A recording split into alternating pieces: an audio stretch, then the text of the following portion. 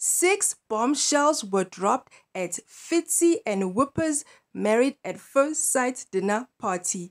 What were they? Dom's new tattoo, Brent and Tamara's current relationship status, Brent and Ella's relationship status. Did they fool around? Didn't they? Holly's new relationship, Jack's feelings towards Olivia, and finally Al's post show plans. Now, let's get into it. Jack and Al, Holly and Brent, Matt, Ella and Selina, how the hell are you been? Uh, going through the names, Olivia's not ticked, or is she out the front trying to show a couple more pics? Matt's madness! Rachel, you set this for us. Hello, fellow couch potatoes. Welcome to my channel. Let's get to today's video. Half of the cast of Married at First Sight reunited in Sydney on Thursday night for Fitzy and Wippa's explosive MAFS dinner party. Domenica, Jack, Ella, Brent, Al, Selina, Matt, and Holly all attended the exclusive event alongside a handful of mega fans who had the opportunity to ask their own juicy honesty box questions for the stars to answer. Here are all the biggest bombshells that were dropped on the night. First up, Ella and Brent's romance. It's been long speculated that Ella and Brent have recoupled since filming Wrapped with the pair even being photographed at the beach on Valentine's Day. When asked if there were ever any romantic vibes during filming, both stars admitted that their relationship was purely platonic on the show. We were focusing on our relationships only, but I will say something now. If there's any woman in the world that you'd want as your partner, you'd want Ella. Oh, well said. Brent, we couldn't agree with you more. Ella also added to the convo, saying on the experiment, they didn't really get to know each other on that deep level. Um, in the experiment, we didn't really get to know each other on that deep level. We were there just focusing on our partners.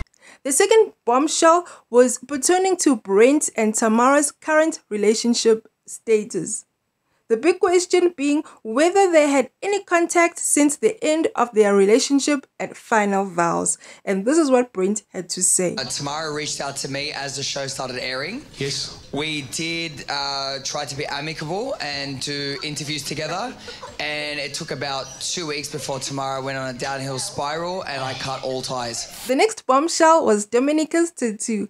Dom confirmed at the event that she recently got a new tattoo of a broken wine glass on her right arm. However, she explained that it represents more than just the incident on the couple's retreat. From the night. Oh. I do, but I want to explain the reason why I got the broken wine glass, and it's not particularly what everyone thinks. Obviously, obviously, carnage, mayhem, yes, but I think it represents a lot more than that to me. It represents that everyone is damaged goods at, to some point and to some extent.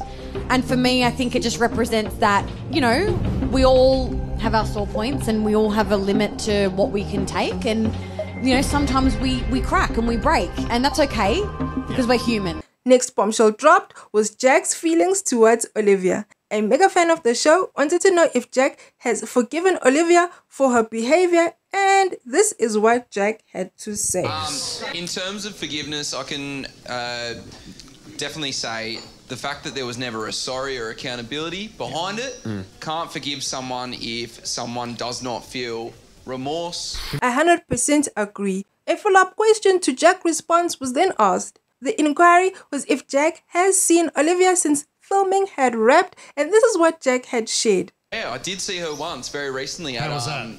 It was a quick little encounter. She was at an event that I was at. I basically just said to her, I was like, look, all the best to you. I don't agree with anything you said on the show. But honestly, if I was you, I'd probably hold, you know, when you're doing your media, when you're doing your uh, radios, you know, own up to the things that you did.